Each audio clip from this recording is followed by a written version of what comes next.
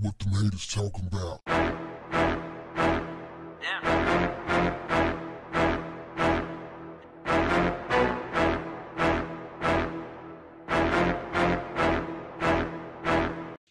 What's up, family? Thousands of Trump supporters in Michigan staged a rally to protest Governor Gretchen Whitmer's stay at home order. Only one problem it wasn't really a protest, it was more like a Trump campaign rally.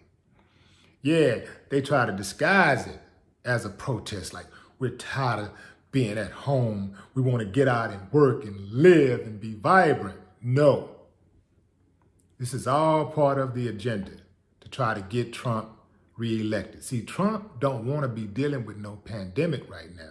I mean, nobody wants to deal with a pandemic, but he's the president of the United States, so it's his job to deal with the pandemic, like it or not.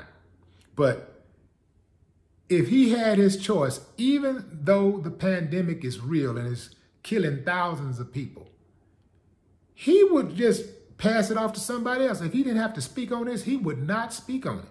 He'd give it to somebody else. Because number one, he's incompetent. So he really don't understand the gravity of the pandemic. He don't even understand the lingo. The dude is slow. He's really slow up top. So he would like to just give this to perhaps, you know, his, his Sambo uh, Surgeon General. What's his name? Uh, Jerome Adams. you know, the dude that was talking about uh, mama them and all that old stuff, all that old slow talk, that slow poke talk he was doing. Did I mention that Michigan's Democratic governor is on the short list to become Joe Biden's VP pick? What about the fact that the protesters broke the law when they defied the social distancing order? And the law broke the law when they refused to do anything about it.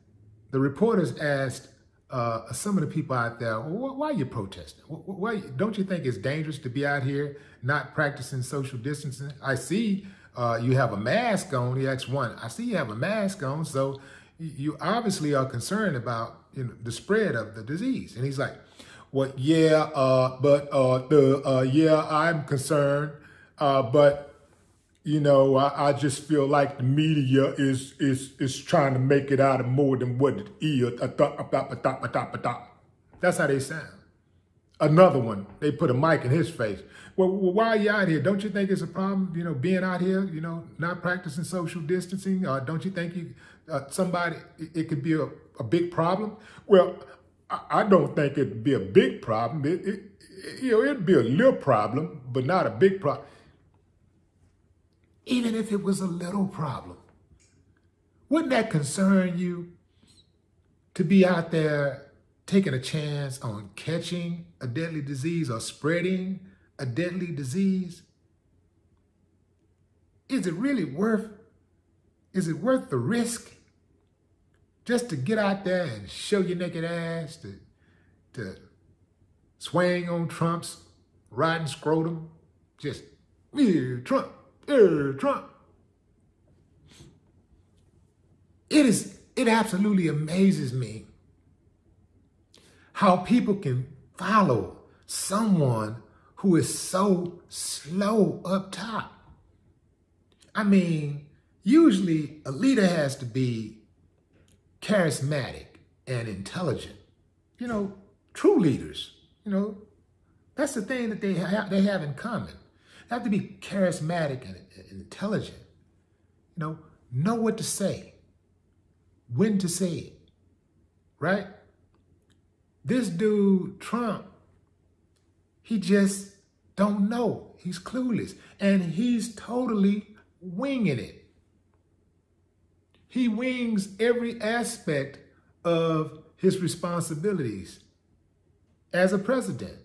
Remember when he got elected and he went to the White House to meet Obama for the first time. he was sitting on that couch. Uh, I think, it was it a couch or a chair? I, I, guess it was a chair. Sitting on the chair and Obama sitting in the other chair. And he had this bewildered look on his face. He had, he's like, he's, he looked like a deer in headlights. That's what he looked like. He was like, what the hell have I gotten myself into? Because I really don't think that he thought he could win. And I guess when he figured out the collusion thing with Russia, he knew he would win. And he was sitting there thinking like, damn, uh, I hope I don't get in trouble for this. He just, he just was not there. Go back and look at that video. He's not there. That's because he knew he was in over his head. The trip part about it is that many other people who follow him, some of the more educated people, at least book-wise, people who have money, they know that he's slow up top. They know he's a problem. They know he makes them look bad. But because he is for the rich and the very wealthy, they are for him. They vote for him. And some of them who ain't even got real money because they want to have that real money. They aspire to have that. That's why they ride for him. No other reason to ride for him. It's all about money with them. Like, this dude's saving me money. I'm doing better than I did last year. You're doing better how? All of them, that's all they talk about is money, how they're doing better financially. So it's like they grade their life on how much money they have. So their value is wrapped up in how much money they have. You dig what I'm saying? That's how they look at life. I'm doing well based on my financial situation. I've been there, and I can tell you that when I had the most money, I was the least happy. That's a fact, Jack. Because you got to be right. Your, your spirit got to be right. It doesn't matter if you have a million dollars or a dollar. If your spirit is right, you're going to be happy. And that's success to me, ultimately. That's what life is about, finding your inner peace. You know, you go out there and do something great and all that. Yeah, that's cool. But having an inner peace, being at peace with yourself, having a good spirit and spreading that good spirit, spreading goodwill, that's really what it's all about. These people are selfish. They're going out there hitting the streets, and the only reason why they're out there is to try to get Trump reelected. This was a campaign rally minus the figurehead.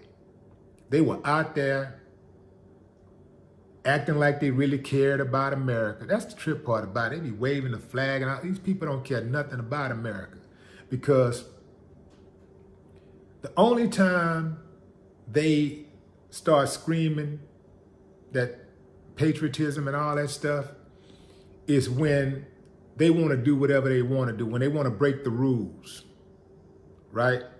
Or someone else is exercising their rights as an American and they don't like it, they don't like it, then they got a problem with that. Kaepernick, you dig what I'm saying? So I'm not feeling it. I know what it's about. They've been exposed.